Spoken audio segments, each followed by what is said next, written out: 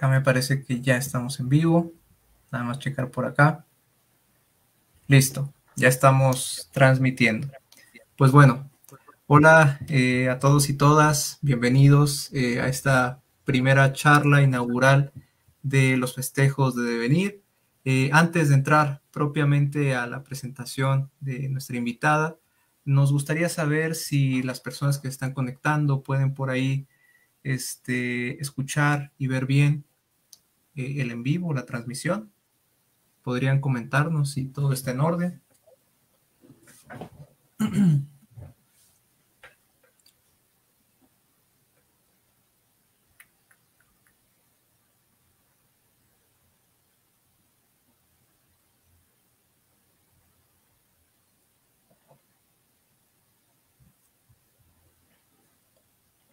Muy bien. Muchas gracias, Eduardo. Un saludo. Eh, pues bueno, eh, muchas gracias a las personas que se están conectando para la transmisión. Y sin más, pues vamos a dar inicio a esta primera charla. Me acompaña, eh, como siempre, mi amigo y colega Juan de Dios García Aragón. Y el día de hoy presentamos a nuestra querida primera invitada, Florentina Gamarra. De verdad, muchas gracias por aceptar la invitación y es un gusto tenerte por acá. Buenas noches, muchísimas gracias. En realidad la agradecida soy yo. La verdad es que han armado un espacio súper interesante y muy generoso, que sobre todo eso es lo más importante, así que en este caso yo les agradezco profundamente la, invitación, casi hoy, ¿no? Sintiendo con todo el vértigo de que no sabíamos si finalmente íbamos a poder concretar el encuentro, pero bueno, se dio y, y fue posible, así que bueno, muchas gracias y gracias a los que están presentes interesados en escuchar esta charla. No, gracias a ti, Florentina. Eh, una pequeña presentación de, Florentina Gamarra antes de iniciar. Ella es psicoanalista, magíster en psicoanálisis, docente universitaria de la UBA y UB, investigadora de la, ahí sí me vas a disculpar, ahorita me corriges, UBACIT, sí. y supervisora clínica de equipos de salud mental. Entonces, eh, es un gran placer. Además, además que déjenme adelantarles, tal vez la voy a comprometer de más, pero excelentísima persona. Estuvimos dialogando ya en, otras, en, otros momentos previo a estas charlas y la verdad es que, aparte del temazo, en realidad la, lo comentábamos hoy en la mañana, la, el gusto y la pasión que finalmente eh, encuentro en, cómo, lo, cómo lo planteas, me parece sorprendente. Así que es imperdible y ya, sin más preámbulos, pues te cedemos la palabra, ¿verdad? Bueno, bueno, muchas gracias, Sergio, Juan. Bueno, em, a ver, les cuento un poco, quizá el, el, tema que nos convoca en la charla de hoy tiene principalmente que ver con un tema que yo vengo investigando desde hace un tiempo ya, que forma parte de un apartado de lo que fue mi, tesis de investigación de posgrado eh, y tiene que ver con el rastreo, digamos, de, la noción de vacío desde la perspectiva del pensamiento oriental, de la filosofía oriental y cómo esto ha incidido en la enseñanza de Lacan. ¿sí? Entonces, este, bueno, tracé un poco un recorrido que nos permita así o situar un poco de qué va esta cuestión, qué tiene que ver esta noción del vacío, quizá un poco menos investigada, un poco menos estudiada que otras nociones de vacío, ¿no? Desde el punto de vista de la lógica o quizá desde el punto de vista de las matemáticas. Bueno, son quizás estudiadas un poco más en profundidad estas nociones que la que recorta específicamente desde el pensamiento oriental y lo tomé fundamentalmente porque me parece que hay una incidencia en al menos dos momentos muy claros en la enseñanza de Lacan, este, que uno podría ser situado allá por 1950, ¿no? A la altura del seminario 1, digamos, cuando él hace varias referencias al Zen, ¿sí? Y a cierta relación entre lo que él ubica como la posición del maestro Zen, el maestro oriental, y eh, la posición y la función del analista. Y un segundo momento en donde me parece que el, vacío le da fundamento ya de entrada a todo lo que tiene que ver con la poética china, la escritura poética china y fundamentalmente eh, el carácter, ¿sí? la escritura del carácter chino que le permite a Lacan sus desarrollos a partir del seminario 18 en adelante, incluso si uno ubica este, el recorrido del seminario 18, de hecho presenta las letras, los caracteres chinos sin ningún problema, ¿no? Como dando, dando por sentado de que uno va a entender ahí de qué se trata y bueno, y en función de, esos desarrollos es que establezco esta articulación con la noción del vacío que podamos recorrer este, en la charla de hoy. En primer lugar, me parece, como conversábamos antes, tenemos que hacer como un paso obligado para situar qué entendemos por este, pensamiento, filosofía oriental, ¿no? Este, sobre todo para poder ubicar a qué nos vamos a referir con el budismo, con las enseñanzas del budismo zen, que en definitiva son las que toma Lacan. ¿sí? Lacan no hace mención a otro tipo de budismo, hay más de uno, ¿eh? está el budismo tibetano, eh, en los orígenes el, budismo chan, este, el, budismo japonés específicamente, ¿no? Hay, hay como una rama que se va desplegando, creo yo, incluso hasta geográficamente. Entonces, el recorrido que yo voy a trazar en, en lo que tomo como historia del pensamiento oriental, parte del hinduismo, estamos hablando del siglo XV antes de Cristo, y nosotros podemos ubicar allí las enseñanzas de los Vedas, ¿sí? todo lo que tiene que ver con las escrituras sagradas en sánscrito sobre todo. El hinduismo sí se establece como una religión eh, y a partir de allí se van produciendo algunas derivas que van a dar lugar a lo que se denomina el pensamiento chino, propiamente dicho, encabezado por las enseñanzas quizás de estos renombres que sí uno puede ubicar en, la enseñanza de Lacan, hasta que finalmente, digamos, bajo el nombre de budismo zen, podríamos ubicar este origen del pensamiento chino que se fusiona en algún punto con el budismo ¿sí? de origen chino y se asienta en Japón. O sea que tenemos ahí un, recorrido oriental y de diferentes escuelas que nos van a permitir ir rastreando este, este concepto, esta noción, me parece. Eh, esta, noción, no es un concepto. Florentina, este, ahí, me surge este, que, que, de ahí radica justamente la potencia de la investigación, ¿no? Porque me parece que la propuesta es interesante desde que justamente sí estamos más acostumbrados a pensar la noción de vacío desde, desde otro centro, y aquí es un poco de centrar, ¿no? De centrar y decir, bueno, pero no de centrar nada más porque, porque uno quiera, ¿no? Sino porque justamente en, el, en, digamos, en los textos de Lacan, en la enseñanza de Lacan más bien, aparece, ¿no? Aparece y, tal vez es más ignorado que, otros, que, viéndolo desde otra noción de vacío, ¿no? Sí, incluso, digo, es, ignorado eh, hasta la práctica.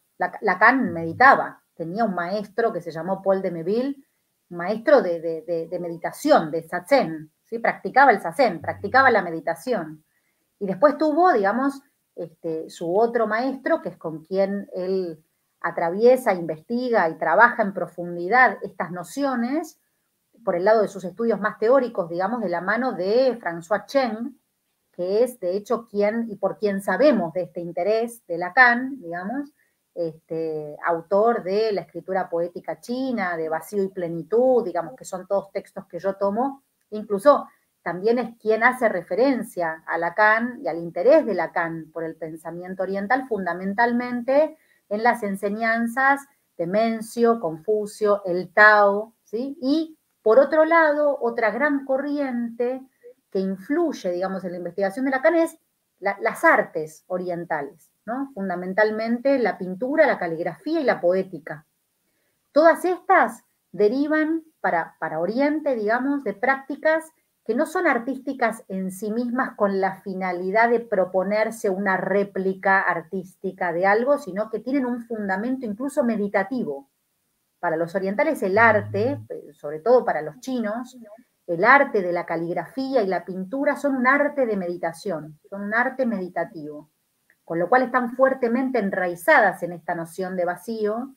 Cuando digo la noción de vacío, a lo que me refiero es, la primera escala que hace Lacan en relación a esta enseñanza es el Tao Te ¿sí? El Tao, las enseñanzas del Tao, adjudicadas a un maestro llamado Lao Tse, que yo después en mis investigaciones me fui dando cuenta que eh, no era una persona, Lao Tse, que, que Tse significa maestro, ¿no? O sea que hay una, una, deriva también de que el Tao no fuera adjudicable a una persona, sino a una recopilación de enseñanzas de maestros este, mm. orientales. Y, en este sentido, digamos, la, noción de vacío específicamente, eh, cuando hablamos del pensamiento chino, eh, que Lao Tse significa, como les decía hace un rato, ¿no? antiguo maestro, ¿no? no hace referencia específica a una persona, eh, ubican al vacío como el soplo, el soplo, el soplo vital del origen de la creación. O sea que para ellos el vacío tiene esta implicancia, es origen. El vacío es lo que da lugar. El vacío es el soplo vital, es lo que inaugura todo acto de creación. En este sentido, uno podría decir que también allí el vacío no está relacionado con una nada, ¿no? a diferencia de lo que uno podría asociar como vacío, como si fuera un lugar vacante o algo que se asemejaría al cero, o ¿sí? Digamos, no, no tiene que ver eh, con esto, ¿no? lo que Lacan extrae, la noción de vacío que a Lacan le interesa, es precisamente este vacío como punto originario de comienzo y fin de todo acto creador. Fin y comienzo de todo acto creador. ¿sí? Esto se asocia con la idea de soplo, del aliento vital, lo llaman ellos. Ese aliento vital que funciona como una semilla potencial de lo que tiene que ver con toda invención. Entonces, uno podría decir, el vacío para ellos es un elemento dinámico. ¿sí? Tiene que ver con que funciona en todo caso como un valor vivificante, creativo, originario, ¿sí? que da lugar al, al origen. No es ni inexistencia, ni algo vago, ni este, representado por la nada sino que es específicamente un principio potencialmente activo de creación. También, digamos, lo interesante es que Tao significa vía, camino, y también significa palabra. ¿no? O sea que en algún punto, en este orden del camino, de la vía, de la palabra, del hablar, es cómo se pone en juego esto con la creación. ¿Cómo podríamos pensar que el orden de la vida tiene que ver con alguna dimensión del orden de la palabra, el camino de la enseñanza, pero de la palabra. Este, y, en este punto, digamos, bueno, aparecen tres grandes exponentes. Eh, uno de ellos dijimos que, bueno, no, sabremos muy bien si fue o no fue una persona, Lao Tse. En segundo lugar aparece Confucio. Y en tercer lugar aparece Mencio, que es sobre quien Lacan eh, toma, digamos, las enseñanzas de Confucio. ¿sí? A Confucio Lacan llega por mencio, este, y esto es lo que nosotros encontramos en el seminario 18, en las formulaciones de letra, escritura, la función del carácter chino, etc. No me quiero ahora este, derivar en eso, pero sí me interesa, digamos, ubicar este, lo que tiene que ver con los orígenes del Zen, que dentro de las tradiciones orientales es la que concentra todo el pensamiento chino originario, este que acabamos de mencionar recién, y que lo que el budismo se plantea es el estudio del sufrimiento del ser humano. O sea, que no tiene ninguna, este, ningún orden de práctica religiosa, no el zen, al menos no el zen. Este, y de lo que se trata es de la búsqueda de la verdad. La verdad que para ellos tiene que ver con la sede del sufrimiento humano. Y este sufrimiento humano, el budismo, lo toma principalmente de tres fuentes, que las denomina tres pasiones. ¿sí? Pasiones en el sentido de sufrimiento. No, de, no de pasividad, sino de pasión como grado de afectación respecto de tres grandes sufrimientos. La ignorancia, el apego o el amor y el odio o la ira. Digo así porque en la traducción pueden aparecer estas palabras, ¿no? Ira u odio, amor o apego e ignorancia. Y lo interesante de esto es que plantean que el apego y el amor, así como el odio y la ignorancia, serían pasiones a ser erradicadas de la vida humana. Pero respecto de la ignorancia, plantean que la ignorancia, en cambio, es un camino, es una vía, ¿no? Y me detuve específicamente a estudiar la cuestión de la, de la, ignorancia, porque a mí me parece que lo que nos enseña este tipo de pensamiento a partir de la noción de vacío es del orden de lo paradojal. ¿no? Si uno piensa, por ejemplo, en el pensamiento, en la mente, mente y no mente, ¿no? un pensamiento típicamente oriental, la no mente, el estado de la iluminación, que es este estado meditativo que uno no sabe muy bien cómo se alcanza, digamos, como que a veces me parece que ellos van recorriendo esta cuestión y lo que plantean es que para poder calmar la mente, es cierto que para ellos existe un estado de iluminación, pero ese estado de iluminación no es el fin de la ignorancia, sino hacer una ignorancia sabia. Otra cuestión que también me llama la atención, por eso hablo de lo paradojal todo el tiempo, porque ellos no dicen que la ignorancia se puede eliminar con el conocimiento, y tampoco dicen que la ignorancia se puede exterminar con la iluminación. Lo que plantean es que la ignorancia es un camino. Y esto a mí me hace pensar en, el lugar de la verdad que ocupa, ¿no? Si nosotros nos detenemos a pensar en esta enseñanza zen, en los primeros tiempos de la enseñanza de Lacan, allá por el seminario 1, digamos, lo encontramos claramente cuando Lacan dice esto de que el, maestro Zen interrumpe con cualquier cosa, ¿no? Es como si irrumpiera allí estableciendo un estallido del, sentido, eh, algo del orden de lo que perfectamente encuentra al discípulo alineado con la búsqueda de la verdad. ¿no? Cuando digo la verdad, hay que ver cómo relacionamos verdad e ignorancia ¿no? en este punto. Cómo podemos entender allí la verdad, el saber, la ignorancia, la posición del maestro oriental como el que no da respuestas, el método de enseñanza de los maestros orientales que Lacan destaca en ese seminario lleva un nombre, las enseñanzas de los koans. Los koans eran discursos o acertijos, cuentos con determinadas preguntas, escritos sin sentido, que utilizaban los maestros orientales para enseñar a sus discípulos. ¿Qué cosa? ¿La verdad, el conocimiento, un saber cerrado? No, precisamente todo lo contrario, ¿no? La estructura del Koan como escritura oriental, como escritura de enseñanza del budismo, lo que plantea es precisamente un, acertijo, una pregunta, eh, un modo de responder que del maestro al discípulo produce una vacilación. ¿no? Eh, es decir, que todo el tiempo la enseñanza es a partir del sinsentido, de lo que no explica, de lo que no responde.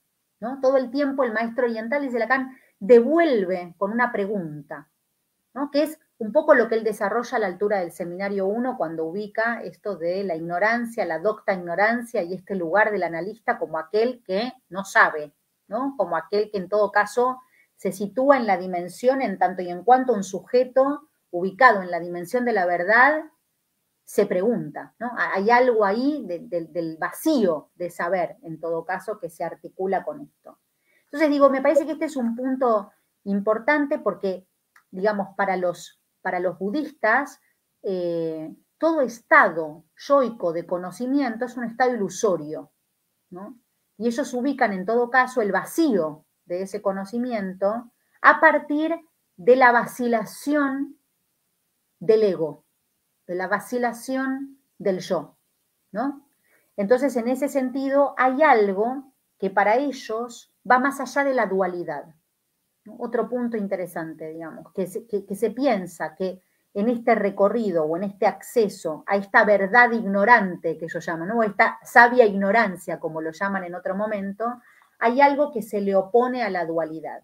Entonces digo, por un lado a mí me interesó destacar qué relación puede haber entre esta noción de vacío que propone el budismo, zen, a partir del pensamiento chino en adelante, y conceptos psicoanalíticos, inconsciente, sujeto, saber, verdad, En relación a esto, digamos, fui terminando en goce, letra y escritura. Si les recorto, digamos, lo que les mencionaba hace un rato, este segundo momento que yo tomo en la enseñanza de Lacan, que tiene que ver con los años 1970 en adelante, ¿sí? En, donde las, las, quizás las nociones de letra y escritura pueden permitirnos pensar a partir del carácter oriental, de la escritura china fundamentalmente, que, es lo que en Lacan produce un pasaje de la lingüística a la poética, y que en todo caso qué incidencias clínicas puede tener esto y de qué modo nosotros podemos pensar allí que la letra y la escritura pueden ser operadores clínicos para pensar cuestiones en relación al goce, en relación al saber hacer, ¿no? Allí. Entonces, eh, díganme por favor si algo no, se va siguiendo, si hay alguna pregunta, este, nos detenemos y, explicamos lo que sea necesario. Vuelvo entonces con esta idea de que el vacío es un elemento dinámico, ¿sí?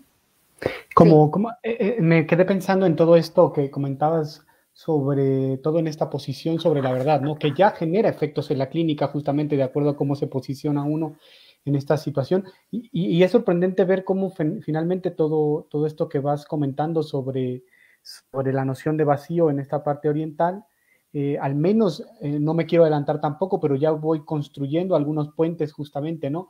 Eh, de repente se me vino esta, esta idea de la verdad no toda, ¿no?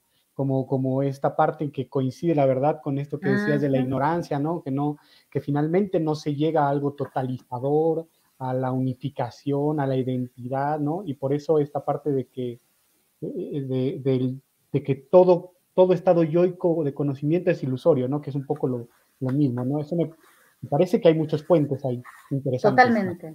Y, aparte otra cosa, que ahora que me das el pie, eh, estuve rastreando un poco qué nombres o cómo nominan, cómo denominan este, el sufrimiento, la ignorancia, el camino. Tienen todos nombres femeninos. Es, interesante esto, porque, por ejemplo, dukkha significa sufrimiento y también angustia. ¿no? entonces, en algún punto, cuando ellos hablan de alcanzar el nirvana, que el nirvana no tiene nada que ver con el nirvana que nosotros recibimos como herencia supuesta del uso que hace Freud del principio de nirvana. Nirvana no es destrucción, en lo más mínimo. Para ellos, Nirvana tiene que ver con traspasar la dualidad. Nirvana tiene que ver con un principio que elimina el sufrimiento, elimina dukkha. E, e, ese estado de nirvana, que es trascendental de la unidad, de la dualidad, perdón, y que lo que trasciende la dualidad no es la unidad. Esta es otra cuestión paradojal que a mí me llama la atención, porque en el pensamiento oriental no se alcanza la unidad, sino que se puede con la no dualidad en donde justamente la unidad no es lo contrario. no significa que traspasar lo dual nos va a llevar a la unidad. ¿no? Entonces es otro punto interesante. Ellos tienen un modo de enseñanza en donde lo, lo explican así. Supongamos que hay dos orillas, dicen ellos, ¿no? En una orilla ubicamos la ignorancia y en la orilla de enfrente ubicamos la iluminación. Lo que el maestro Zen hace no es llevar al discípulo de la ignorancia a la iluminación, sino que todo el tiempo la enseñanza tiene que ver con situarse en el medio. Es decir, que cuando algún enunciado, alguna pregunta del discípulo al maestro, se situaba desde la ignorancia, se responde desde la iluminación. Pero si la pregunta se hace desde la iluminación, se responde desde la ignorancia. Que todo el tiempo ellos lo que ubican es que lo que se produce es un acto de cruzar. Es muy interesante esto, porque ellos ubican que entonces todo el tiempo se, trata del entre, ¿no? Y ahí es donde ubican este término que es ignorancia sabia. La ignorancia sabia no significa la unidad, pero sí significa trascender la dualidad.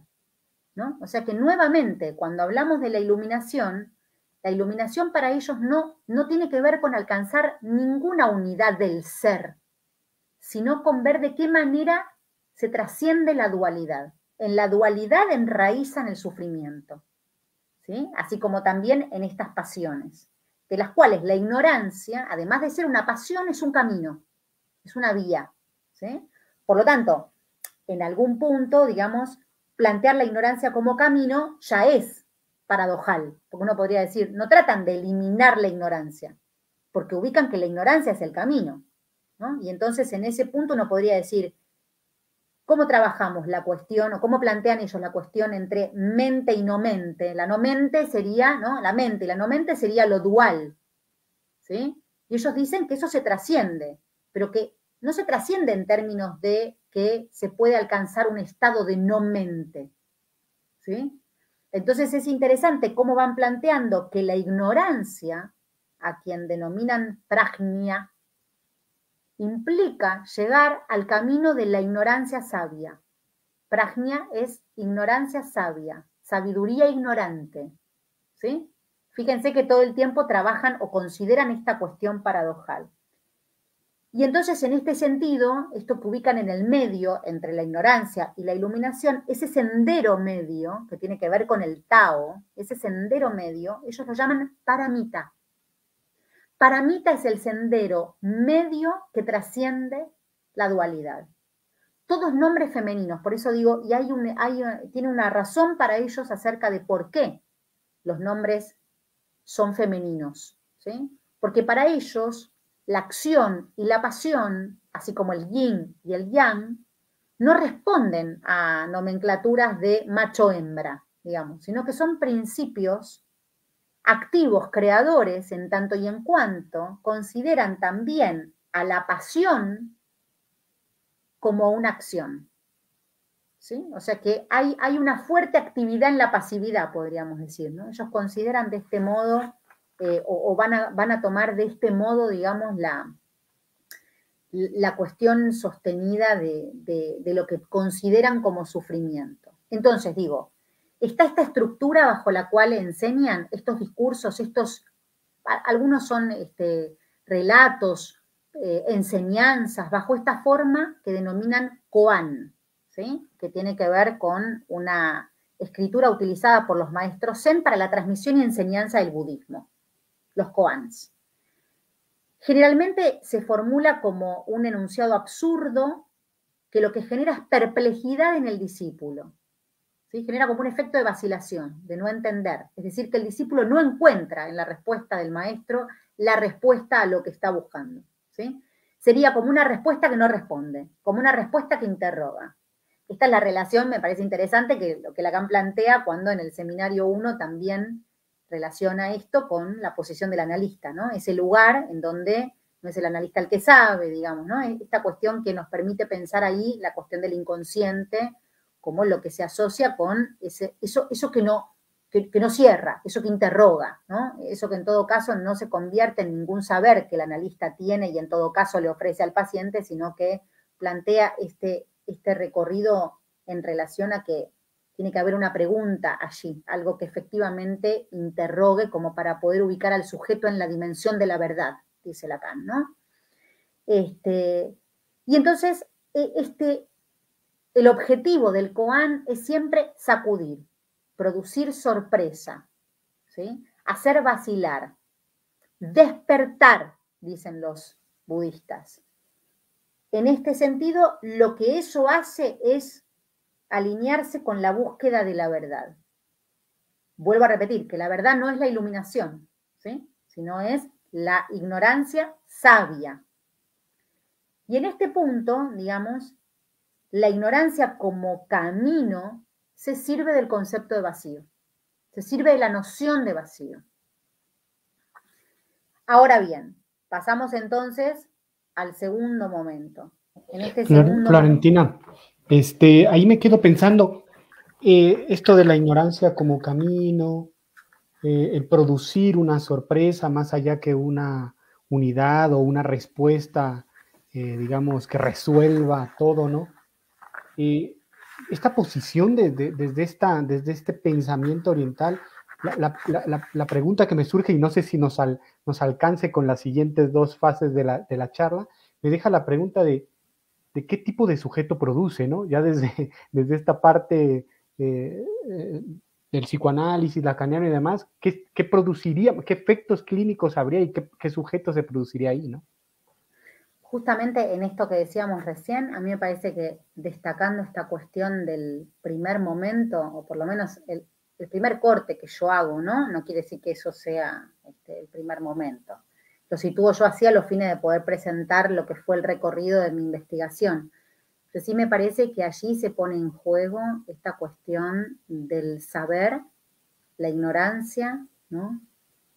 La verdad y lo que se relaciona a partir de una pregunta que conduce a la articulación significante en tanto despliegue del inconsciente. ¿sí? En ese sentido, digo, me parece que allí hay como una primera vertiente en la que podríamos ubicar el inconsciente, el vacío, el saber, eh, lo, enigmático, la pregunta, ¿no? La falta y el deseo. No podría ubicarlo allí, si queremos, en esto que podríamos denominar la primera clínica, ¿no? El lugar del significante, pero también en relación a esta falta, en relación a esto que en todo caso, eh, si no interroga, si no produce allí un menos de saber, ¿no? Si, no produce allí algo del orden de lo que interrogue, no tenemos sujeto analítico, ¿sí? Este, y entonces en ese sentido uno podría decir, bueno, estamos por ahí con con una relación más estrecha entre vacío y deseo, podríamos decir, ¿no? En ese primer tiempo, ¿no? En, donde si ubicamos al deseo como un menos, un menos en términos de un resto, de algo que en todo caso se pierde, ¿no? Algo del orden de la falta, me parece que vamos por la vía de cómo todavía en ese momento ubicamos al significante y a eh, la falta, digamos allí, de un significante que inscribe la falta podríamos decirlo de este modo. Ahora, en este otro segundo momento que yo tomo, en lugar de ubicar por ahí el significante que inscribe la falta, de lo que me interesa es cómo situamos ahí la falta de inscripción. Esa va a ser otra vertiente del vacío, digamos. Porque una cosa es la inscripción de la falta y otra cosa es la falta de inscripción. ¿no? Y en la enseñanza de Lacan esto marca una diferencia importante y marca consecuencias clínicas importantes. Me parece que hay que, que hay que ubicar, sobre todo en lo que tiene que ver con la instancia de la letra, ¿no? La función de la letra. Y en todo caso, cómo Lacan va a pensar en la escritura, ¿no? La función de la escritura. ¿Qué, hacemos en un análisis, ¿no? Si en un análisis este, leemos, escuchamos, ¿no? ¿Qué es del orden de lo que se dice? ¿Qué es del orden de lo que se lee? ¿Qué es del orden de lo que se escribe? ¿Qué es, que, es del orden de lo que se borra? En fin, me parece que hay como algunas cuestiones con las que después, diga, Lacan nos permite volver, ¿no? A partir de cómo estudia minuciosamente el, carácter chino, la, letra china, ¿no? Porque esto es lo que en todo caso aparece como en la función de la escritura, como llamándole primariamente la atención, ¿no? Porque el carácter chino, la escritura china en caracteres, está compuesta por este, una doble característica, ¿no? Hay caracteres que son pictográficos y hay caracteres que son ideográficos. ¿sí? ¿Qué quiere decir esto? Que hay un carácter que puede hacer referencia a alguna imagen y un carácter que puede hacer referencia o bien a, una, a un fonema, ¿sí? a una pronunciación o a un concepto. ¿sí? Entonces, de algún modo, digamos, cuando Lacan encuentra esta característica, dice que lo que le llama la atención del carácter chino es que el carácter chino tiene la particularidad de poder ser al mismo tiempo verbo y conjunción. Es decir, que encuentra en un carácter chino, en una letra china, ya sentido. O sea que aquí él encuentra en la escritura china que el sentido no es producto de la articulación significante sino que el carácter chino le da a Lacan la pista de que ya hay un sentido asociado a la letra. ¿Sí? Como si la letra efectivamente allí pudiera darnos la pista de lo que implica ya un sentido sin sentido, ¿no? Porque digo, en algún punto todos los desarrollos que Lacan hace en Titura Tierra y todo lo que tiene que ver con el seminario 18 y demás, justamente plantea este estatuto que va a tener la letra, digamos, en donde nos permite ver la deriva respecto del signo, respecto del uno que va a tener lugar quizás en los desarrollos del seminario 19 en adelante. entonces, es de gran importancia. Recuerdo ahora, digamos, para situarlo, que él en el seminario 18 toma em, el carácter chino que significa wei, ¿no? Y dice que significa tanto wei como wu wei, que significa actuar y no actuar. ¿Sí? Entonces él desarrolla esto, dice, les muestro esta letra, dice, esto significa actuar, pero también significa no actuar. Y también significa una conjunción, significa cómo. ¿No? Entonces él dice, si algo significa cómo, quiere decir que no significa, porque si algo significa cómo, ¿no? si yo digo, esto es como comer, no es comer, es como comer. Si algo es como algo, ya no es ese algo, ¿no? Y entonces ahí empieza a ubicar esto, dice, pero esto es interesante, porque entonces estos chinos, dicen, la tenían re clara, ¿no? La función, en todo caso, de la escritura china radica en que ya hay sentido, ¿sí? Eh, en una letra. Y entonces empieza a estudiar los caracteres chinos, ¿no? Que es precisamente lo que estudia con François Chen. François Chen tiene un libro que se llama este, este, La escritura poética china, donde efectivamente localiza allí el modo en el que se enraiza el modo de escritura china y el interés de Lacan precisamente por estudiar los caracteres chinos y cómo efectivamente están compuestos, ¿no? De, qué va esta idea que eh, el, digamos, el carácter en, en, lo pictográfico, digamos, y en lo ideográfico, ¿no? Cómo aparece ¿Quién le aporta la pronunciación? Es otro dato, ¿no? Ellos, este, François Chen tiene un ejemplo en la escritura poética china en donde dice que la palabra compañero está conformada por un carácter complejo, dice él. que es un carácter complejo? Que está formado por dos caracteres simples. ¿sí? Entonces, la palabra compañero está formado por dos caracteres simples. Uno de ellos es el carácter hombre, y el otro es el carácter mitad, mitad o compañía. Y entonces lo que plantea es precisamente que la palabra compañero se construye de estos dos. Y en la pronunciación, ¿sí? lo que le da la pronunciación a la palabra compañero proviene del carácter ideográfico. O sea que el carácter ideográfico muchas veces le aporta la pronunciación a un carácter complejo que está formado por dos caracteres simples, uno pictográfico y uno ideográfico. Y el ideográfico le aporta la pronunciación al carácter complejo. ¿sí? Así que la palabra compañero se pronuncia parecido a como se pronuncia para ellos mitad.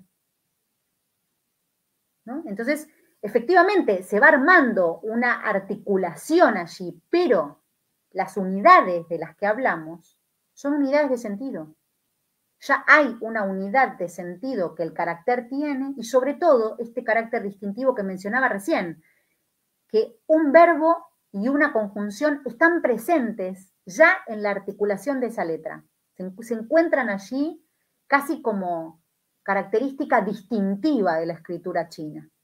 Por supuesto que luego le va a interesar fundamentalmente de, qué va esta característica poética, ¿no? Específicamente, uno podría decir que eh, la poética china se define incluso como el, arte de combinar, dicen ellos, la vivacidad de las imágenes con la movilidad de los sonidos. La vivacidad de las imágenes con la movilidad de los sonidos. entonces, efectivamente, en, esta, en esta escritura, lo que Lacan encuentra es que la poética china deriva de un trabajo de escritura que reduce el sentido a la mínima expresión. O sea que el valor de la escritura poética, el valor poético de esa escritura, justamente radica en la erosión, en el desgaste, en lo que tiene que ver con el desarmado, el recorrido a la inversa, digamos, ¿no? del sentido y la poesía radica en la mínima expresión lograda. Una variante japonesa es el haiku. El haiku japonés cuenta, es una escritura también reduccionista, poética, artística, y que cuenta con tres o cuatro, a veces tres, a veces cinco, ¿no? Eh, versos.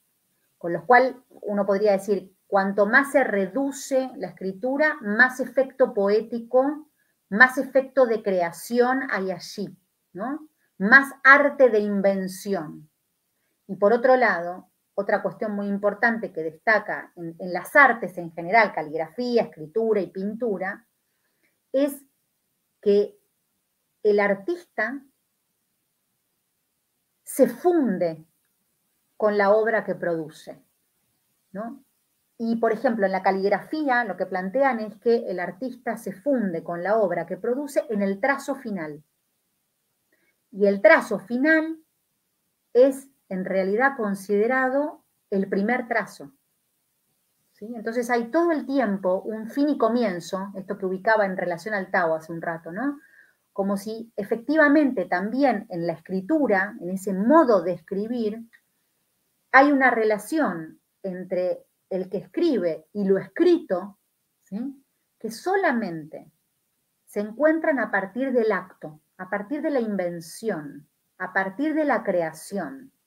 Entonces es de gran aporte, digamos, el valor oriental. ¿Cómo, ¿Cómo entienden los orientales el arte oriental en general? Pero específicamente menciono estos tres que son los que investigué. Después hay un libro muy interesante de Herrigel que se llama El Zen del tiro al arco, ¿no? Este, en donde también el, tiro al arco es, un arte que, implica una disciplina, una postura del cuerpo, un uso del arco, ¿no? Este, cómo se dispara, ¿no? Es, es un libro muy interesante que incluso en un momento dice, el mejor disparo que asegura que se da el blanco es el disparo que no se ejecuta. ¿no? Es el disparo que no dispara. Y en algún punto en este, en este sentido, me parece que es interesante porque lo que ellos plantean es que el, ordenamiento, hablan de, de, el agente como aquel que crea, ¿no? Y hablan del objeto como lo creado. Pero lo que dicen es que en el momento en el que se produce la creación, el agente y el objeto desaparecen.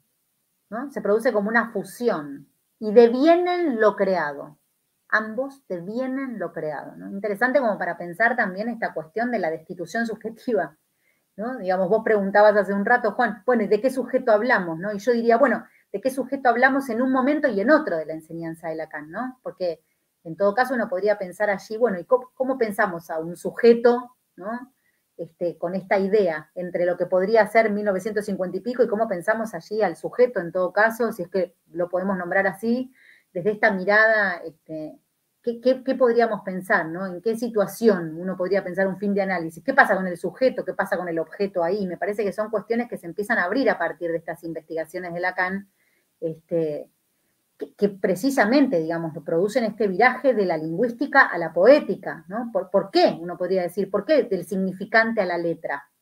¿No? ¿Por qué, en todo caso, el lugar que va a adquirir la letra en la enseñanza de Lacan justamente tiene que ver con ese punto de desgaste significante? Es a través del significante, sí, sí, pero es un punto en donde precisamente la letra va a marcar ese litoral entre saber y lo real, ¿no? La letra es el lugar donde aparece localizado ese punto de, erosión significante, ese, punto en donde ya el significante encuentra un límite y en ese límite uno podría decir, podemos ubicar esta idea de litoral, ¿no? Esto que Lacan plantea, esta, esta letra como litoral, esta letra que permite en todo caso un empalme entre lo que es del orden del saber y lo que es del orden de lo real, de lo que es del orden del significante y lo que es del orden de lo real, ¿no? del goce, podríamos decir. Entonces, en ese sentido, digamos que la letra a Lacan, con todas estas formulaciones, digo, le permite ubicar una localización, una instancia, un, lugar, una función. Este, y específicamente esto es diferente de los desarrollos en torno al significante. Claramente, una idea es lo que implica la articulación significante y otra cosa es pensar qué lugar tiene la letra, qué estatuto tiene la letra en la enseñanza de Lacan la letra relacionada con esto del orden del sinsentido, ¿no? Este, lo que tiene que ver con, con, fugarse del sentido, erosionarlo. Florentina, y, en este sentido, este, también eh, va por otro lado que es el matema, supongo. Eh, en, estos desarrollos más de topología y de matemática y demás, ¿no? Sí, yo en realidad pensaba, ¿no? Si nosotros pensamos hasta en esta cuestión de la escritura, y volvemos a la, a la carta 52 que Freud le escribe a Fliss, ¿no? Estamos allá por 1890. este, ahí uno podría decir, ¿qué hace Freud? Escribe, ¿no? Hay una formalización, porque yo digo también para Lacan, la formalización del psicoanálisis la hace a partir de la escritura. Los matemas, como vos decís, claramente son un sistema de escritura, por supuesto, ¿no? Las fórmulas de la sexuación. Hay algo en la escritura, efectivamente, que trata de asir esta cuestión, ¿no? Digamos que, por eso yo decía esto de las definiciones incluso que Lacan puede dar cuando del seminario 24, 25 en adelante, digo, el, lugar que le da el analista como aquel que equivoca la ortografía, digo, me parece que hay un montón de pistas que podemos tener en relación a esto, de que cuando el analista escucha, algo es del orden de lo que escucha y algo es del orden de lo que se lee. Por eso podríamos decir, algo es del orden de la palabra y algo no es del orden de la palabra, ¿no? Uno podría pensar en Freud, la representación palabra, ¿no? La representación palabra es algo posterior a la palabra, ¿no? Porque la palabra representada no es lo mismo que la palabra. Cuando Freud desarrollaba, por ejemplo, los restos de lo visto y del oído, ¿eso en qué lugar queda? Digamos, ¿eso es del orden de la representación en Freud? No. Era del orden del signo perceptivo. ¿Se acuerdan cuando ubicábamos en, la carta 52? Freud ubica la percepción, el signo perceptivo, la representación, ¿no? y, y, después sigue con el preconsciente. Pero, ¿qué daba ese pasaje ¿Qué inauguraba una representación? Algo del orden de la transcripción borrosa del signo. Y uno podría pensar en este sentido también cuando Lacan desarrolla en el seminario 9, ¿no? la, huella de viernes de Robinson Crusoe. ¿Qué, es lo que plantea el estatuto de una huella? Que, que, en ese sentido me parece que habría que diferenciar ahí porque no estamos hablando en ese seminario de la huella freudiana, ¿no? sino que estamos hablando más de lo que podría ser del orden de la marca, ¿no? de este significante que marca, pero que hay algo que el significante viene, en todo caso, a plantear una borradura de la marca. Entonces, ¿cómo podríamos pensar en todo caso esta cuestión ligada al significante, en donde el significante ya es un cierto borramiento? ¿no? De, de qué modo podemos ubicar aquello que se lee a partir de una marca que se borra? a partir de, en todo caso, de una letra que es posibilitadora de que luego algo pueda advenir y ser leído. Entonces me parece que nos sirve para pensar articulación, ¿no? sentido sin sentido, pero también esta diferencia, esto que propone pensar, digamos, a la letra y a la escritura como operadores clínicos, en todo caso en ese quehacer con el goce.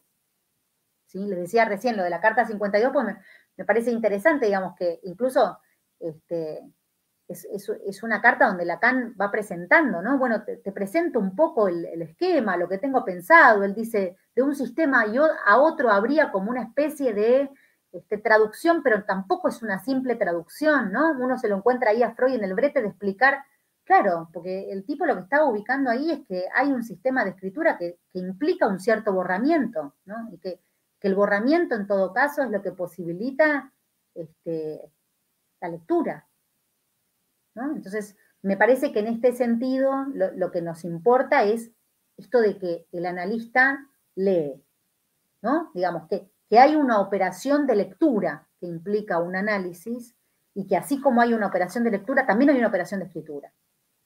Y en este sentido, por eso tomaba esta, esta versión más reduccionista de la poética, porque digo, la poética oriental es reduccionista. Ellos van restando a la articulación hasta llegar al, valor del sentido de la letra. Y en ese, en ese sentido último se expresa la creación, en donde el agente y el objeto se funden en el acto.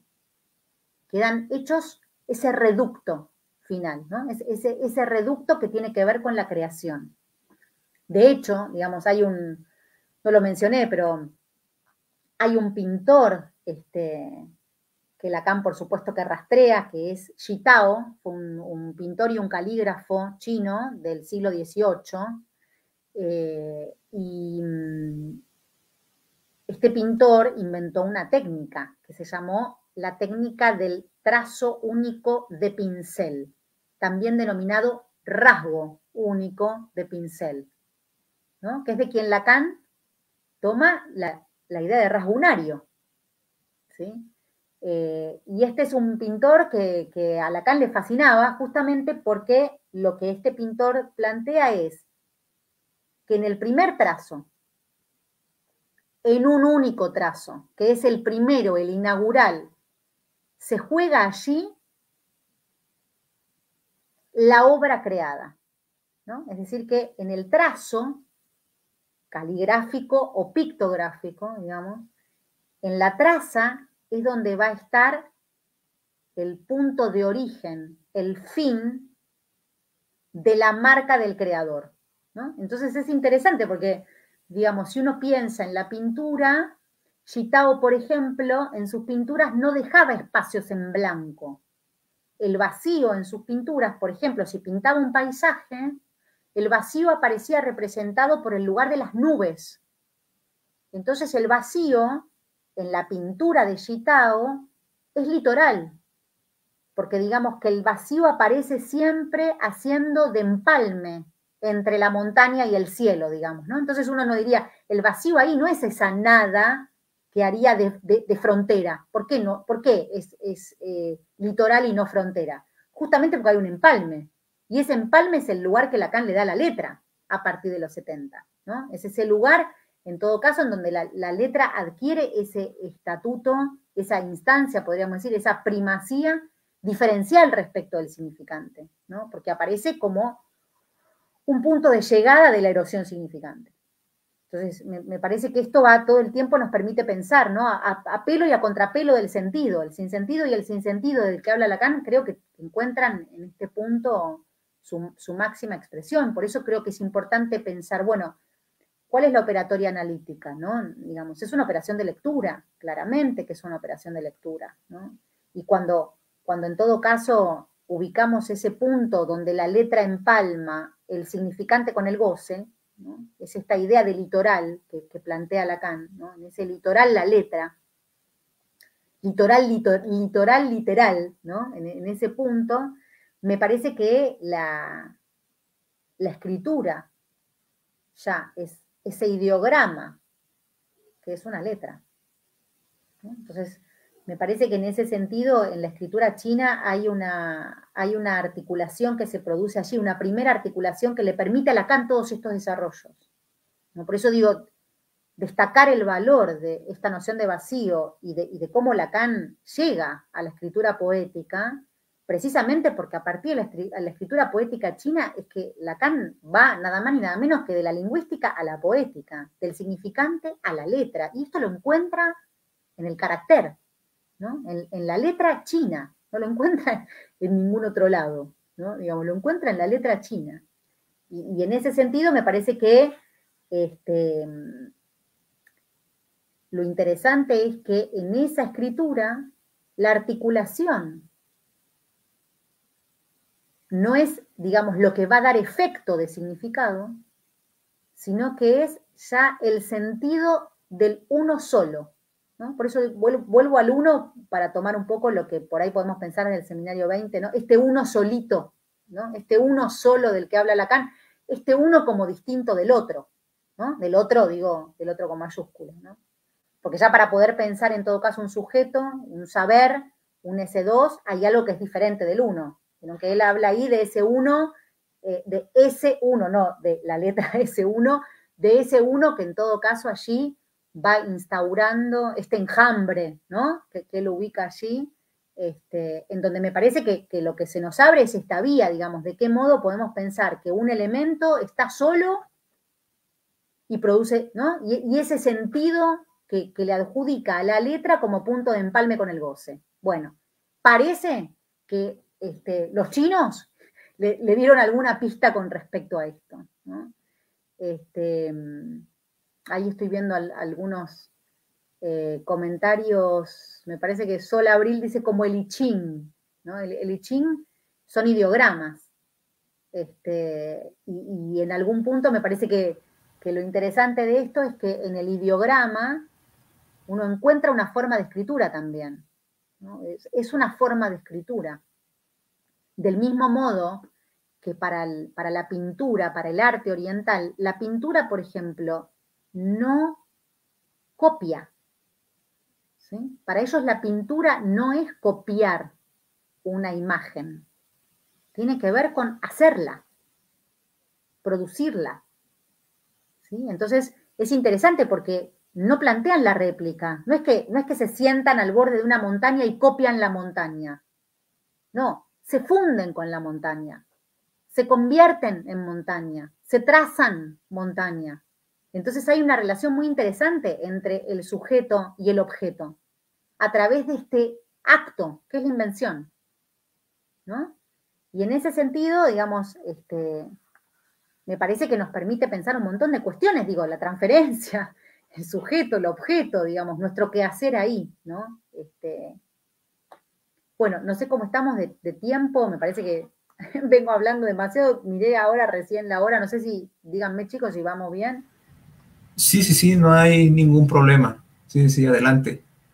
Este, si quieren, a ver el Tao como camino y verdad, ahora discursiva por los trazos y bordes en Lacan. ¿ah? Sí, me parece que cuando, cuando Lacan toma la vía, ¿no? La, vía, el camino, este, y cuando hablamos de verdad, ¿no? Cuando Juan hace un rato decía, bueno, pero la verdad, claro, la verdad no toda, Verdad y saber no son lo mismo. Eh, en ese sentido, digamos, cuando ya Lacan en los discursos, podríamos decir, ¿no? Plantea esto del, saber en el lugar de la verdad, ¿no? Cuando plantea los, cuatro discursos. Este, me parece que justamente de lo que se trata es de, que, de qué verdad hablamos, ¿no? Si hablamos de una verdad no toda, y en todo caso, ¿qué implica hablar de esa verdad no toda? Que es bien diferente a la cuestión del saber, ¿no? Si nosotros pensamos en el saber como discurso del otro, si pensamos en el saber como articulación significante, ¿no? si pensamos en el saber de la mano de un S2, podríamos decir, ¿no? estamos hablando de una lógica. Ahora, lo que se pone en juego en la dimensión de la verdad, cuando ubicamos esta verdad de lo uno, esta verdad no toda, esto no es el saber.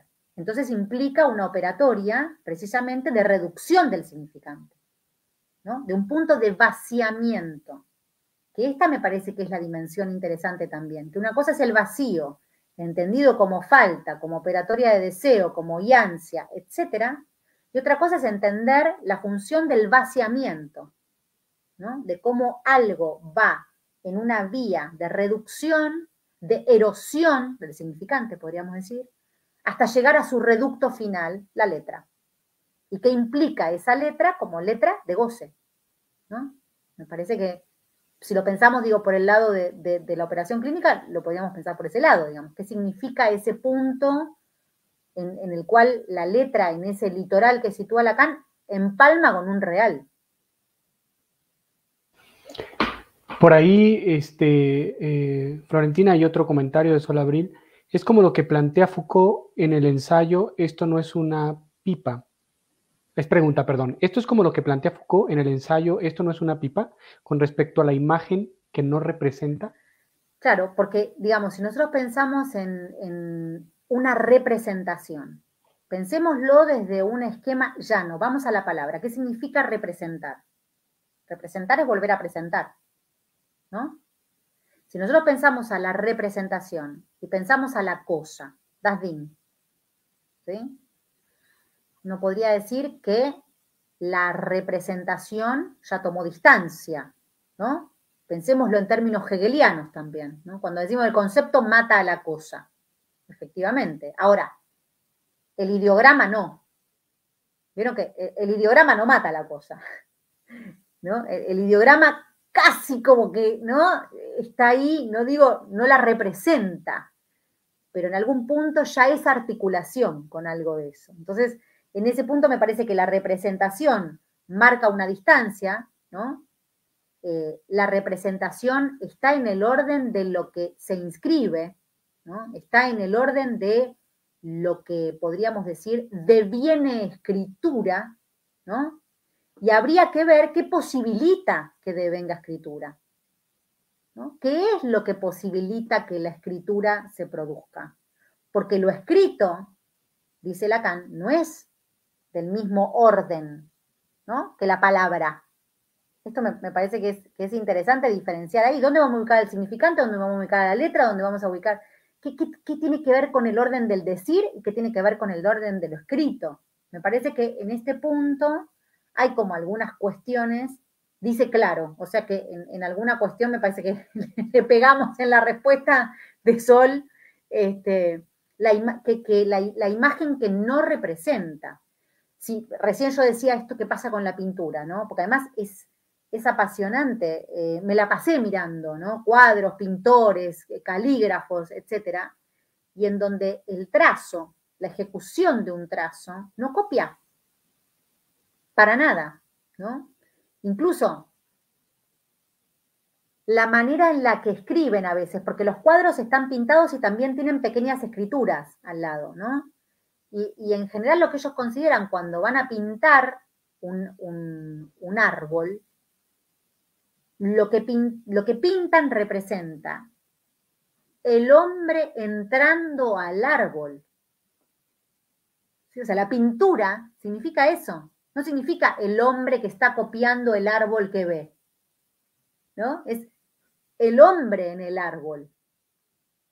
Entonces me parece que ahí se, arma para nosotros una dimensión interesantísima, porque me parece que no es sin la del acto. ¿no? No, no podríamos pensar nunca esta creación por fuera de la función del acto. ¿no?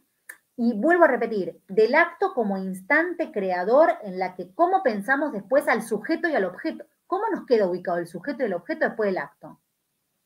Digamos, ¿no? si, lo que vamos a pensar allí, ¿qué es? Un sujeto que cre un sujeto que actuó. Esto es como cuando nos preguntamos, bueno, es como decir, bueno, el goce del sujeto. El sujeto, el goce no es del sujeto. ¿Es del otro? Bueno, ¿de qué manera podemos pensar que es del otro? Todas estas cuestiones que me parece que es justo, además, como la noción de goce en Lacan es tan paradojal, digamos, me parece, yo encontré ahí como una vía, ¿no? Que me interrogó respecto de estas cuestiones paradojales, porque si hay algo que sostiene el pensamiento budista, por lo menos el Zen, es que está situado en la paradoja. Todo el tiempo en la paradoja, no en la dualidad, no en la contradicción, en la paradoja. Florentina, este, me llamó mucho la atención eh, esta comparación que luego se puede hacer con la pintura, eh, principalmente por la cuestión del trazo. Es como si viniera a representar todo lo que estás diciendo, ¿no? Me hizo recordar mucho porque obviamente es también este, eh, un autor que, has mencionado, un pequeño texto que aparece en este libro de Lacan, el escrito La imagen, y fui ahorita a buscarlo, a buscar esa cita nada más que, que me hizo, que, me hizo ruido precisamente con la pintura. Sí, sí, sí, exactamente. Este, y encontré la cita, entonces eh, se las comparto para, ver este, eh, porque es prácticamente la puesta en acto de, todo esto, ¿no? Eh, dice por acá, para adquirir el arte del trazo, ¿basta con un ejercicio, ejercicio asiduo? No, dice Chitao, pues se trata de una disciplina de vida para ello es necesario que el artista se encuentre en estado de recibirlo. Aquí es donde interviene la noción de receptividad. Como el trazo debe ser impulsado por el aliento, es imprescindible que antes el artista sea él mismo, en lo más íntimo, movido por los alientos vitales, tanto el yin y el yang, como el vacío intermedio, los mismos que fueron capaces de encarnarse en el bambú y en la roca, en montaña y en agua, el artista debe alcanzar ese grado de disponibilidad abierta en que los alientos internos que lo habitan son capaces de tomar el relevo de aquellos que le llegan de afuera. Impecable. Esa cita, efectivamente, gracias por recordarla, porque fue un texto que me faltó nombrar, ¿no? Este, justamente es ese punto en el que escrito la imagen, incluso Chen habla en ese texto de que Lacan lo volvía loco, lo volvía loco. Quería todo el explícame cómo hacen para pintar, que todo el tiempo, digamos, estaba interesado por este pintor Gitao que les cuento, ¿no? Esta es como la parte tras bambalina, digamos, ¿no? Es verdad que existían llamados de Lacan a las 4 de la mañana a todo el mundo, lo llamaba Paul de Meville, lo llamaba Chen, en un momento también estuvo tomando algunas clases con otro maestro que se llamó Suzuki, este, él enloquecía a todo el mundo, él se le ocurría una idea de algo y a las cuatro no le, no le importaba, digamos, a qué hora llamar a quién, lo asaltaba alguna duda, incluso esta frase que, que, él también ubica en el seminario 1, ahora que Sergio me hiciste recordar, cuando él dice el maestro interrumpe el silencio con cualquier cosa, interrumpe el silencio con cualquier cosa, un sarcasmo, una patada, Así procede en la técnica Zen, el maestro budista, en la búsqueda del sentido. A los alumnos les toca encontrar la respuesta a sus propias preguntas. El maestro no enseña ex cátedra una ciencia ya construida. Da la respuesta cuando los alumnos están a punto de encontrarla. Esta enseñanza es un rechazo a todo sistema, dice. Descubre un pensamiento en movimiento. 1953 un pensamiento en movimiento, ¿no? En esto que vos tomás y que, que traes, Sergio, de, la, la traza. La traza no replica, ¿no? Volviendo un poco a la pregunta de Sol, ¿representa? No. Produce. ¿No? Hay una diferencia entre representar y producir. Es cierto que para ir al reducto, digamos, es necesario desandar el camino de las representaciones. Y en ese camino reduccionista es que nos vamos a encontrar con eso que queda erosionado, desgastado, vaciado. ¿no? Nosotros en el análisis hacemos un trabajo de vaciamiento significante, claramente, no es, no es sin el significante. ¿no? De hecho, si uno intenta releer, ¿no? La instancia de la letra. Lacan en un momento dice, ¿no? Después, en los años 70, dice, por algo, por algo dije la instancia de la letra y no dije la instancia del significante. ¿No? ¿Por qué? Sin embargo, cuando yo leí la instancia de la letra, mucho antes, ¿no? Digo, antes de entrar en esta... Me llevó un tiempo volver a la instancia de la letra con los desarrollos de los años 70 en adelante. Efectivamente, que uno dice, pero claro, la instancia de la letra, ¿por qué es la letra? soporte material, ¿no? Que el discurso concreto toma del lenguaje. Ah, pero para, entonces si está diferenciando discurso concreto del lenguaje, quiere decir, ¿qué, me perdí acá? ¿Qué diferencia hay entre el discurso, ¿no? ¿Qué es el discurso, la letra, el significante? Me parece que todas estas cuestiones, digamos, cobran una dimensión clínica, una importancia clínica, eh, que el instrumento oriental es sumamente orientador, además de ser oriental, es orientador en, el punto en el que por ahí nos permite ubicar cuál es la relación entre el arte, el vacío, la invención y el trabajo analítico. Me parece que hay algo. El trabajo analítico que termina produciendo algo del orden de una invención en donde un análisis se hace escritura. ¿Sí? que un análisis es leer y escribir, borrar y hacer algo a partir de eso, ¿no? En una, en una cuestión eh, que me parece que, que permite pensarlo así, ¿no? Hay un vaciamiento que deja una producción. Y en esa producción está el sello, del sujeto, no sé, ¿no? No sé en qué estado. me parece que no sin ese acto que hace que repensemos allí, ¿no? Sujeto-objeto, a partir del acto en donde precisamente para los orientales, en el acto, el pintor se vuelve lo pintado. En la escritura, el escritor se vuelve lo escrito. Y el calígrafo se vuelve traza. Me parece que esa es una dimensión muy interesante para pensar estas, estas operaciones. Eh. Claro, Florentina, por ahí Omar Becerra nos dice, en la carta robada también le da mucho énfasis a la letra, ¿no? Absolutamente, la letra, ¿sí?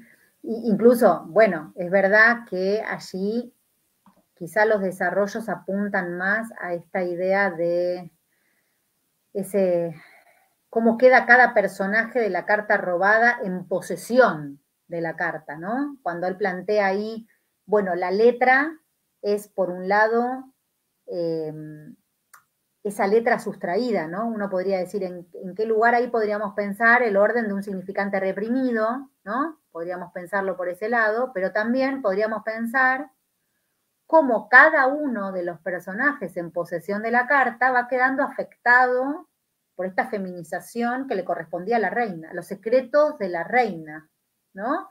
Que por alguna razón, a partir de que el ministro le sustrae la carta, queda en posición de reina, por lo menos lo queda para Dupont, ¿no? Digamos, si, uno empieza a armar esta lógica de lectura, ¿qué sucede ahí con el que posee la carta? Exactamente, ¿qué pasa ahí, no? ¿Cómo, cómo, empiezan a afectarse esos lugares? Incluso uno en la carta robada puede leer perfectamente el efecto de la repetición, ¿no? Si uno piensa en un primer triángulo, ¿cuál sería? El rey, la reina, el ministro, ¿no? Que es lo que Lacan plantea en la pero después, ¿cómo, ¿cómo pensamos? Al ministro, la policía y el detective Dupont. ¿No? Se van como, ¿quién no sabe, quién sabe, quién posee el saber, ¿no? Cómo funcionan esos lugares que se van viendo afectados a partir de la posesión de la carta, de la letra. Este, o sea que efectivamente, pero que me parece que también lo interesante es cómo a la luz de los años 70, ¿no? Releer esos escritos previos también son sumamente esclarecedores, porque efectivamente, digamos, vieron que, bueno, les pasará, pero uno a veces va, va, ubicando, ¿no? Bueno, el primer Lacan, el segundo Lacan, el tercer Lacan, el último Lacan, el, último, el recontra último, el, el recontra remil último, ¿no? es complicado también pensarlo en estos términos. ¿De qué Lacan me perdí, no? Entonces es como, ¿qué capítulo del, qué capítulo no vi? ¿Qué temporada me perdí? no, no vi la última temporada. Entonces, en ese punto uno podría decir, es interesante cómo a la luz de este ir y venir también, uno puede encontrar la lógica del sinsentido en, en lo que pueda denominarse el primer Lacan.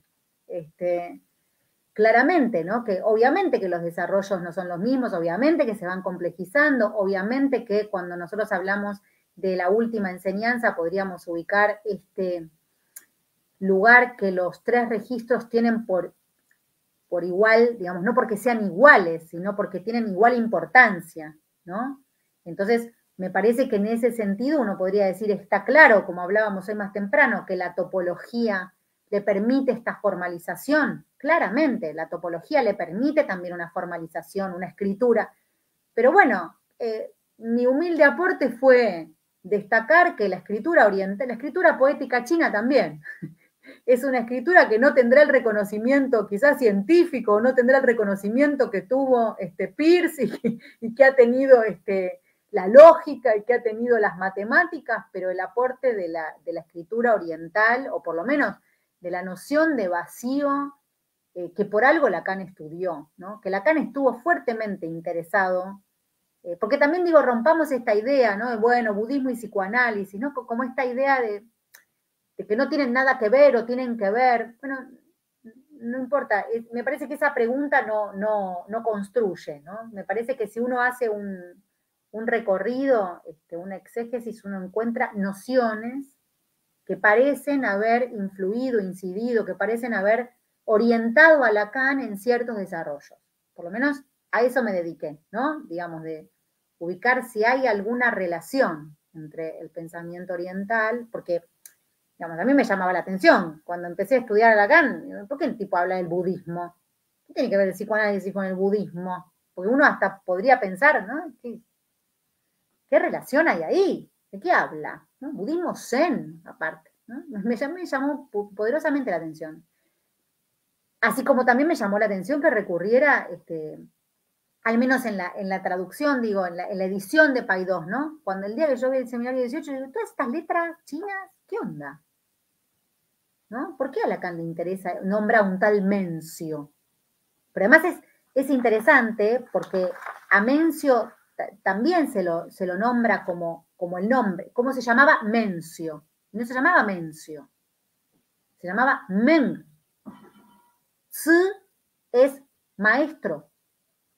Men es el apellido. Entonces no es Mencio el nombre del chabón, podríamos decir, ¿no? Es maestro Men. Tzu es maestro. Y Tzu es Lao Tzu, Men Tzu, ¿sí? Digamos, como que tiene toda una rama etimológica este, en lo que se traduce Sio, Confucio, Mencio. Sio no es parte del apellido del hombre. Viene de Tzu, que es maestro. Por eso se dice que las Lao Tse, ¿no? Son las, las enseñanzas del maestro, y no porque Lao Tse haya sido una persona. Por lo menos hasta ahí llegué, ¿no? Rastreando. Yo creía que Lao Tse, abiertamente, yo decía, pues Lao Tse es el que, del Tao Te ¿no? Y después este, pidiendo mucha colaboración. La verdad es que he investigado mucho con, con budistas zen que me han orientado un poco en este camino y me enseñaron algunas palabritas así sueltas y algunos orígenes este, que el chino verdaderamente es, apasionante. Es muy difícil para nosotros, pero es, apasionante. Oye, Florentina, justamente te iba, justamente iba, desde que empezó y, todo, todo lo que has venido desarrollando, que me parece bastante interesante, justamente no me iba a quedar con la pregunta, aunque ya la contestaste, de cómo es que llegaste ahí, ¿no? Y, ahorita que mencionas todo esto, todo esto último, me quedo pensando, pues bueno, por algo se ignora, ¿no? Es un, es un trabajar lo que, lo, que hay que conocer, lo que hay que rastrear, ¿no? Lo que hay, lo, que hay que localizar, incluso comprender, ¿no? O sea, finalmente estos aportes, mira, tan sencillos como lo que dices de Confucio, que no es el nombre completo, sino que se ignoran por completo, ¿no? Hay un trabajo que de verdad este, es, eh, es que representa bastante, bastante esfuerzo, bastante investigación, y, y, porque mi pregunta iba a ser, ¿por qué crees que se ignora? Y yo creo que la respuesta está ahí, ¿no? Yo creo que lees una cita donde se mencione algo de esto y, ve todo el recorrido que has hecho finalmente, ¿no? Que se requeriría hacer para justamente eh, trazar esto que hoy nos, nos traes, ¿no?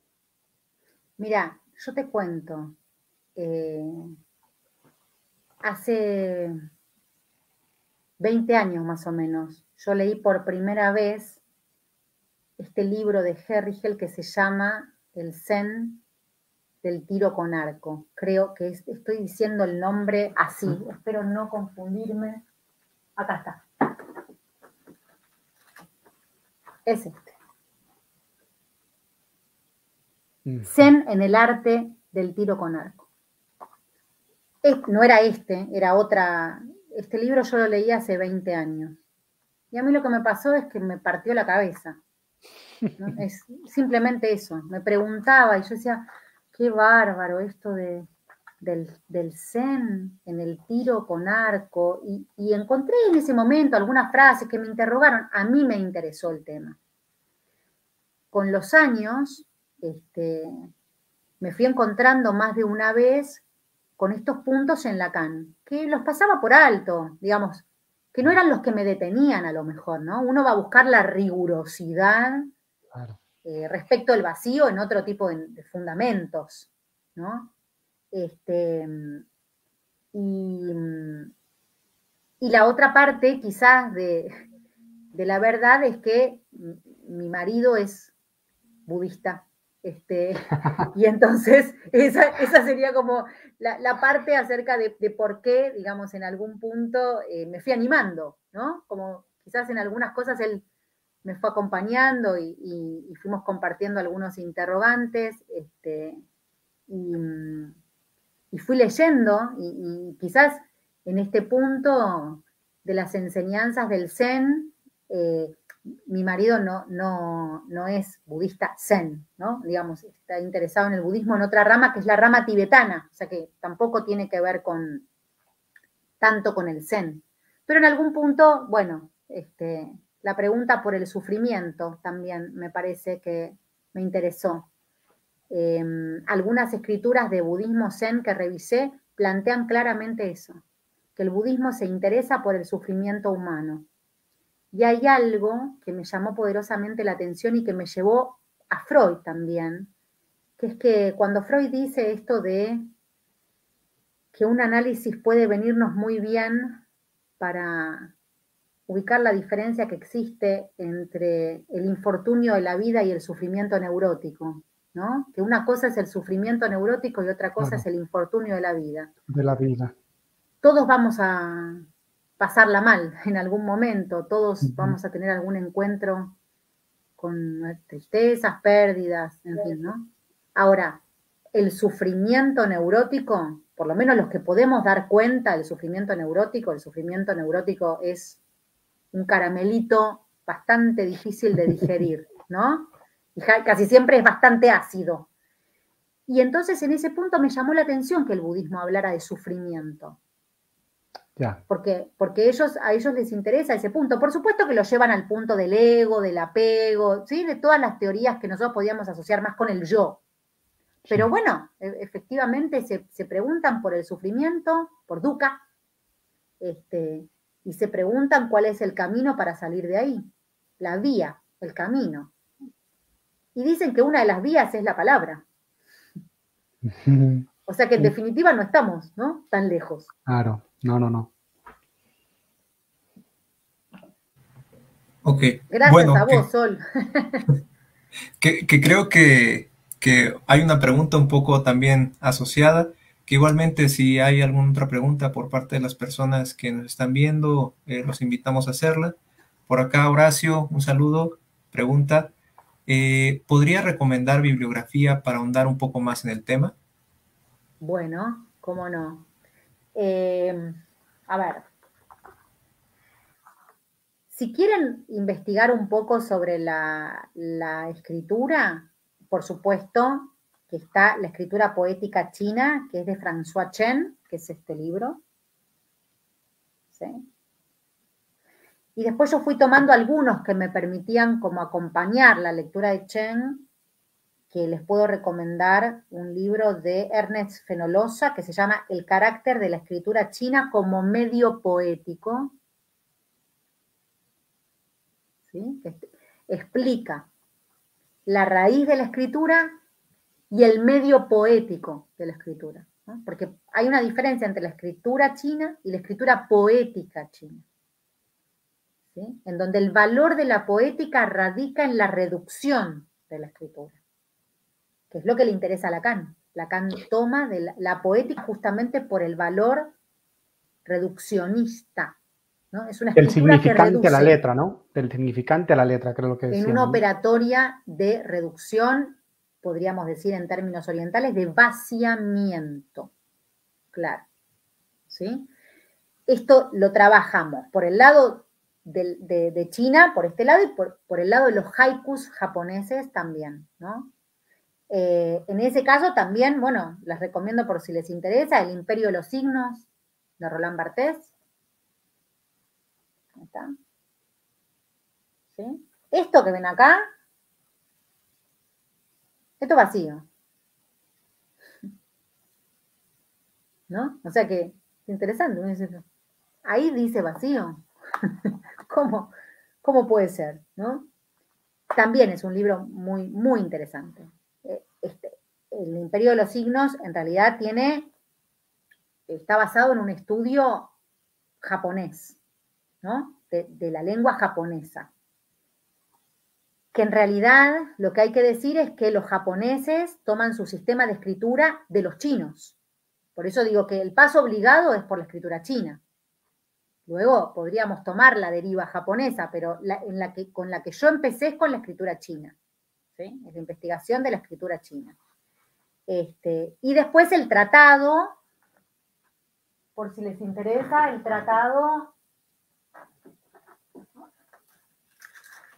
Este es más difícil de conseguir, pero lo pueden encargar. Es el, Tratado de Shitao. De la, eh, se llama El discurso acerca de la pintura por el monje Calabaza Amargo. Era el, era el nombre de, de, el, nombre, el nombre del pintor, digamos, ¿no? Este, y es ahí donde plantea la, la, técnica, la técnica de la pintura y de la caligrafía china. Es un tratado, ¿eh? Eso es, un, es, un, chino, verdaderamente un chino, uno tiene que disponerse de tiempo ahí para... Este, bueno, esto digo lo más accesible, hay un montón de, de derivas, este, digo, si, si, les interesa el tema y demás, que yo les puedo dejar también mi mail para cualquier consulta, florentinagamarra.yahoo.com.ar, por si les surge alguna inquietud, no hay ningún problema. Este, me, parece que estas instancias son interesantes para, para compartir y para pensar juntos, ¿no? La verdad que es bastante difícil organizarlo en términos de charla. La verdad es que me decía, ¿por dónde voy a empezar, no? ¿Cómo, cómo, cómo recortamos? Porque como les decía, esto es el, extracto al menos de algunas partes de lo que fue mi trabajo de investigación, mi tesis de posgrado, digamos. Entonces, se hace difícil hacer como un recorte, ¿no? Por eso pido disculpas también por la desprolijidad, porque fui pasando de una época a otra y del Koan a la escritura poética, digamos, pero son las dos vertientes que en cuanto a la escritura pude tomar como para recortar esta idea oriental, ¿no? Ambas este, quizá la primera corresponde más a una enseñanza del budismo, el, Koan, y la segunda ya me, permitió como adentrar en la estructura de la escritura, ¿no? ¿Cómo podemos pensar ahí? La, escritura eh, china tiene un valor de estructura, ¿no? ¿Podríamos pensarla en la vertiente de la estructura? ¿Podríamos pensar que la escritura china plantea que a la significación se accede por un juego combinatorio de significantes? No. Después sí, pero originalmente el, primer trazo, digamos, uno podría decir, la primera letra, el, el uno, es el que tiene todo el peso de la noción de vacío, que es esto que les comentaba, ¿no? En donde verbo, conjunción se presentan ya en un primer orden de sentido. Entonces el sentido ahí no aparece como efecto de la articulación significante, aparece como sentido último. Aparece como un sentido originario y último. Último, si lo pensamos, digamos, como trabajo de erosión, va a ser un sentido a arribar, una letra de goce. Ahora, si lo pensamos al revés, ¿no? Lo pensamos como origen. Lo pensamos como uno. ¿Sí? Es súper interesante, Valentina, eh, y, ahorita que te, que te disculpabas, que en realidad este, yo creo que estuvo, estuvo fenomenal, me parece eh, que sí es imposible hacer como un hipercorte. que es un, yo, yo creo que si lo, si lo digo como en una forma metafórica con lo que acabas de hablar, eh, trataste de hacer como poética china, ¿no? este, tratar de reducir todo, ¿no? Todo a, no, no creo que aún sea la mínima expresión, pero finalmente me parece que además cumple con dos, dos cuestiones esta, e, esta invitación, no, con varias cuestiones esta invitación que les comento y aprovecho a comentarles a todos. Por supuesto que por motivo de los festejos de devenir, pero también de empezar una relación este, de colaboraciones con, Florentina Gamarra, que por ahí también pueden seguirla en, una página de Facebook que es acerca de la transmisión del psicoanálisis. Ahí estuvimos ya publicando algún contenido del trabajo que van realizando, pero además tiene una intención más, más, interesante todavía, ¿no? Que, ya se ha hablado con Florentina de la posibilidad de, si, nos, si, si, se interesaron en este tema, pues plantear a futuro algún espacio que no sea solo una charla, sino que sea algo en donde se, se puedan adentrar un poquito más. ¿sí? Este, y, creo que este primer momento era importantísimo para, para poder de alguna manera pensar en ese otro espacio en donde ya podamos este, trabajar directamente contigo de una forma más, eh, ahora sí, extenderse lo que quieras, ¿no? Bueno, tanto como lo que quieras, tal vez no, ¿verdad? Pero un poco más como Nunca es todo lo que uno quiere. Sí, exactamente. no, para mí, en serio, para mí fue un gustazo. Este, la verdad es que eh, fuimos teniendo mutuos seguimientos, contactos y demás. Este, yo les agradezco la propuesta. Nuevamente, felicitaciones por el espacio que han armado.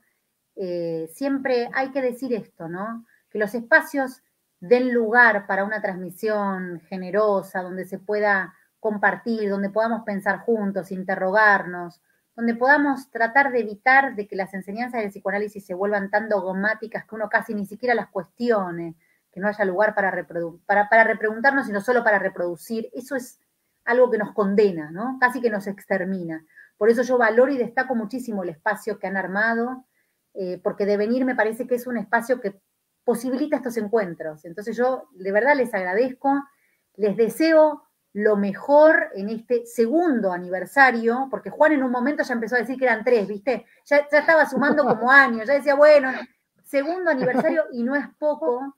Así que de verdad los felicito por la convocatoria, por el respeto, por el modo en el que consideran la transmisión y la enseñanza del psicoanálisis. Así que la agradecida soy yo y por supuesto más que gustosa de que sigamos compartiendo espacios cuando lo dispongan a su disposición y, armaremos lo que podamos armar para seguir pensando juntos.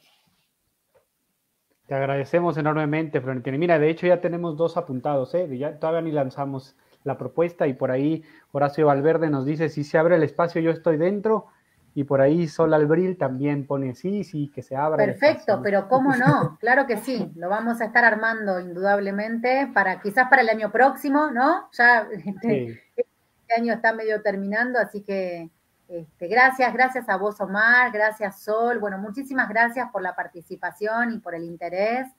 Sergio, Juan, bueno, un placer y nos estaremos encontrando en las siguientes charlas que tienen propuestas para este mes, así que seguramente en las semanas siguientes me tocará estar asistiendo del otro lado, con mucho gusto, escuchando las ponencias de, maravillosos colegas que van a estar haciendo sus presentaciones. Así que bueno, seguiremos apoyando eh, el espacio que ha fundado Devenir.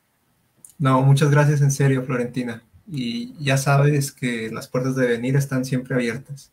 Pero claro, y ahora esperamos que se abran las fronteras y quién les dice que podemos hacer la próxima un encuentro que hasta sea, hasta sea personal, ¿por qué no? Ya Con unos tacos. Sí, sí, sí. Claro, claro. Ya, ya lo anhelamos, la verdad, este, aunque evidentemente la pandemia permitió también pensar en estos otros espacios y estos espacios, ¿no? Y crear estos puentes que justamente cuando regresemos eh, y podamos este, encontrarnos ya físicamente, ¿por qué no? Claro que sí, plantear, Totalmente. plantear Casi hoy nos pegamos un sustito porque hoy hasta Ay, la pandemia. Sí, no, no. ya ni eso teníamos. hoy ya ni eso. Amo, nos quedamos todos sin redes. Fue difícil, pero bueno, acá estamos. Así que espero que, que, haya resultado al menos una transmisión que pueda llegar a, a, la gente que pudo sumarse, aunque sea a último momento, este, solucionados los problemas cibernéticos. Chicos, muchísimas gracias, un placer y nos estamos viendo muy prontito. ¿eh? Claro, Gracias, gracias, a todos que participaron. Gracias. Sí, gracias a todos. Nos vemos. que tengan buena noche.